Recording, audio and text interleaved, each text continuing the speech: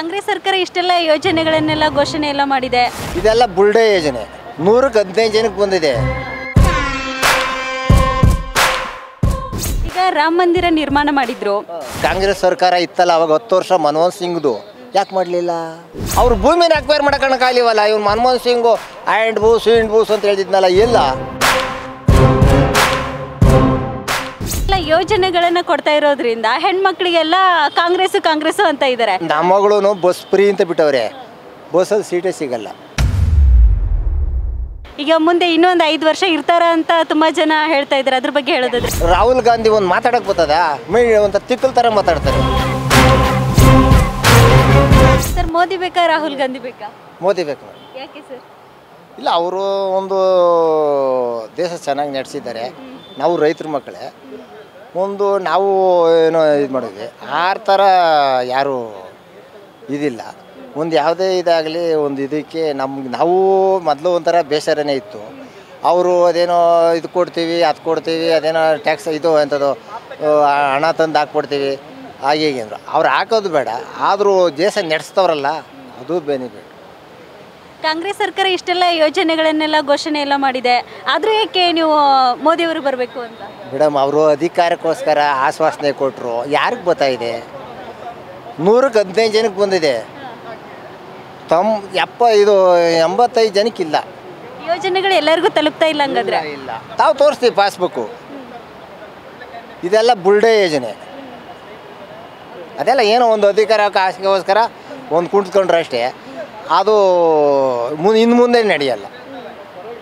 ಅಂದ್ರೆ ಉತ್ತಮ ನಾಯಕ ನೀವು ಮೋದಿ ಅವರು ಅಂತ ಹೇಳ್ತೀರಾ? ಉತ್ತಮ ನಾಯಕರು ಅಂತ ನಾವು ಮೊದಲು ನಂಬಿರಲಿಲ್ಲ. ಅವರು ಉತ್ತಮರೇ. ಅದೇ ಹೇಗೆ ಹೇಳ್ತೀರಾ ಸರ್? ಅದು ಯಾವುದೇ ಆಗಲಿ ಮೇಡಮ್ ಇವಾಗ ಇದು ಒಂದು ಯಾವುದೋ ಇದು ಹೇಳಿ ಯಾವುದೋ ರಾಮರ್ದು ಎಲ್ ಕೆ ಅಡ್ವಾಣಿ ಎಷ್ಟು ಫೈಟ್ ಮಾಡಿದ್ರು ಅವ್ರನ್ನ ಜೈಲಿಗೆ ಹಾಕೋದ್ರು. ಅವ್ರನ್ನ ಇದು ಮಾಡಿ ಅದು ಇವ್ರು ಕಾಂಗ್ರೆಸ್ ಸರ್ಕಾರ ಇತ್ತಲ್ಲ ಅವಾಗ ಹತ್ತು ವರ್ಷ ಮನಮೋಹನ್ ಸಿಂಗ್ದು. ಯಾಕೆ ಮಾಡಲಿಲ್ಲ? ಈಗ ರಾಮ ಮಂದಿರ ನಿರ್ಮಾಣ ಮಾಡಿದ್ರು. ಕಾಂಗ್ರೆಸ್ ಅವರು ಹೇಳ್ತಾ ಇದ್ದಾರೆ ರಾಮ ಮಂದಿರ ನಿರ್ಮಾಣ ಮಾಡಿರೋದು ಎಲೆಕ್ಷನ್ ಎಲೆಕ್ಷನ್ ಮಳಗಡೆ ಭೂಮಿನೂ ಅಕ್ವೈರ್ ಮಾಡ್ಕೊಂಡು ಬಗೆಹರಿಸ್ಕೊಂಡು ದೇವಸ್ಥಾನ ಕಟ್ತರು ಅವ್ರು ಭೂಮಿನ ಅಕ್ವೈರ್ ಮಾಡೋಕ್ಕಾಗಲಿವಲ್ಲ ಇವ್ನು ಮನಮೋಹನ್ ಸಿಂಗು ಆ್ಯಂಡ್ ಬೂಸ್ ಇಂಡ್ ಬೂಸ್ ಅಂತ ಹೇಳಿದ್ನಲ್ಲ ಇಲ್ಲ. ಬರೀ ಸೋನಿಯಾ ಗಾಂಧಿಗೆ ಎಡಿಟ್ ಆಗಿದ್ದು. ಇವಾಗ ಕಾಂಗ್ರೆಸ್ ಅವರು ಹೇಳ್ತಾ ಇದ್ದಾರೆ. ಸಪೋರ್ಟ್ ಅದು ಇದು ದಕ್ಷಿಣ ಭಾರತದಲ್ಲ ಸಪೋರ್ಟ್ ತಂಡಿ ಇದು ಮಾಡಿದ್ದು. ಎಲೆಕ್ಷನ್ ಬಂದಿದ್ದಕ್ಕೆ ರಾಮ ಮಂದಿರ ನಿರ್ಮಾಣ ಆಗಿದೆ ಅಂತ ಅನ್ನೋದು ಕಾಂಗ್ರೆಸ್ ಅವರ ವಾದ. ಅವರು ಅವರು ವಾದ ಅಲ್ಲ, ಅವರು ಮಾಡಿ ತೋರಿಸವ್ರೆ. ಇವ್ರು ಮಾಡಿ ತೋರಿಸ್ಲಿ.